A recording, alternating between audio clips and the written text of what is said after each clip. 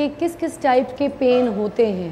अच्छा पेन की दो टाइप हम मेजरली डिवाइड करते हैं एक्यूट पेन और क्रॉनिक पेन एक्यूट पेन वो होती है जिस तरह चोट लग गई ऑपरेशन के बाद हुई कोई गिर गए फ्रैक्चर हो गया that is acute pain okay अच्छा क्रॉनिक पेन होती है जो ज़्यादा देर अरसा रहा है जो थ्री मंथ से ज़्यादा है. हम्म। और यूजली ये वही पेन होती है जो एक्यूट से क्रॉनिक में कन्वर्ट हो जाती है. अच्छा. जब हम एक्यूट पेन को प्रॉपरली इलाज नहीं करते जब हम उसको इग्नोर करते हैं कि अच्छा ये ठीक हो जाएगी हम्म। हम चलती रहेगी लेकिन जूँ जो ये डेवलप हो जाती है तो ये क्रॉनिक पेन में कन्वर्ट हो जाती है और इसके तीन इम्पैक्ट आ जाते हैं हम्म। That is biological biopsychosocial hmm. इसका इम्पैक्ट जिससे इन्होंने बात की अभी मैं इनकी एग्ज़ाम्पल ये क्रॉनिक पेन है अब इनकी आपने डिप्रेशन की मूड की बात की बिकॉज़ ऑफ़ पेन आपका साइकोलॉजिकल इम्पैक्ट भी आ गया डिप्रेस हो गई आपका प्रोफेशन डिस्टर्ब हो जाता है आपकी सोशल लाइफ डिस्टर्ब हो जाती है हम्म हम देखते हैं बहुत से पेन हो रही है जी बाहर नहीं जाना किसी फ़ंक्शन में नहीं जाएँगे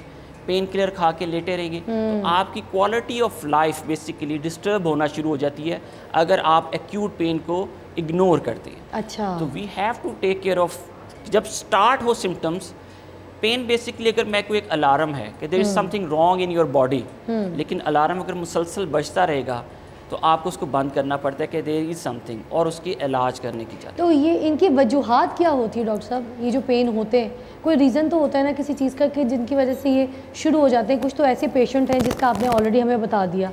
मगर कुछ बॉडी के पार्ट्स में ऐसी पेन होती हैं आपको कभी कभी जिनकी वजूहत का समझ नहीं आता? जैसे एड़ियों का पेन होना घुटनों में, जोड़ों में तकलीफ़ होना, हाथ की कलाइयों में, हड्डियों में से आवाज़ें आना उंगलियाँ चिटखाना लोगों का बहुत ज़्यादा यू नो हॉबी बन गया जस्ट बिकॉज़ उनको इन उंगलियों के पोड़ों में तकलीफ़ हो रही होती है। तो ये सब जो पेन है इनकी वजूहत क्या होती है डॉक्टर साहब? अच्छा पेन की मुख्तलिफ़ वजूहत हैं। एरिए पे डिपेंड करते हैं जैसे आपने नी का ही का इसमें का। सम टाइम आपके मसल्स की प्रॉब्लम होती है। सम टाइम आपके लिगामेंट्स जॉइंट्स की प्रॉब्लम हो जाती है कार्टिलेज की प्रॉब्लम हो जाती है। सम टाइम न्यूट्रिशनल डेफिशिएंसी की प्रॉब्लम हो जाती है। कैल्शियम की कमी हो गई। विटामिन डी की डेफिशिएंसी होगी और सम टाइम यूरिक एसिड आपकी वजह कर देता है। अच्छा। तो ये छोटे से फैक्टर्स हैं हमें इन्हें देखना होता है कि क्या चीज़ है। और दूसरी वेरी डॉक्टर साहब हमें किन पेन्स पे आपके पास आना चाहिए?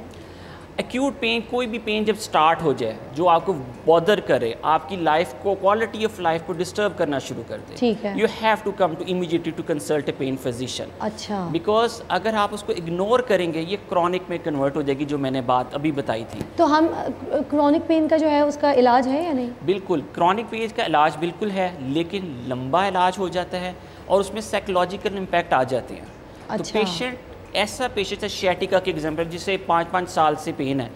वो अपनी बॉडी का पार्ट समझ लेते हैं कि ये pain I have to live with it अच्छा। कि मैंने इस पेन के साथ ही अब ज़िंदा रहना है। अच्छा। हालाँकि अगर वो प्रॉपरली टाइमली इलाज शुरू करें हम्म। या जिस टाइम पाँच साल भी शुरू कर दें मुश्किल ज़रूर हो जाती है लेकिन नामुमकिन नहीं।